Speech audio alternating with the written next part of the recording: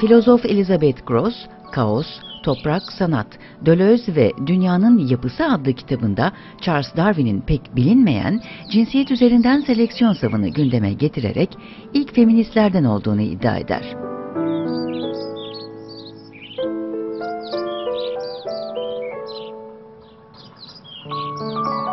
Bu sava göre dişiler erkeklerin cinsiyet özelliklerini belirleyen güçtür. Darwin örnek olarak erkek kuşları verir.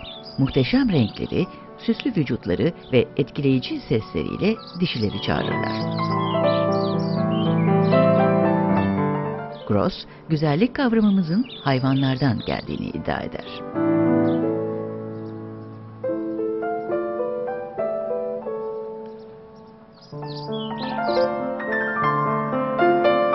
Disiplinler arası araştırmacı sanatçı Pınar Yoldaş'ın Superfluous sergisindeki yerleştirme, sesle sentetik estetiği bir araya getirerek Gross'un estetik, mitoloji ve hayatın geleceği konularındaki teorileri arasında bağ kuruyor.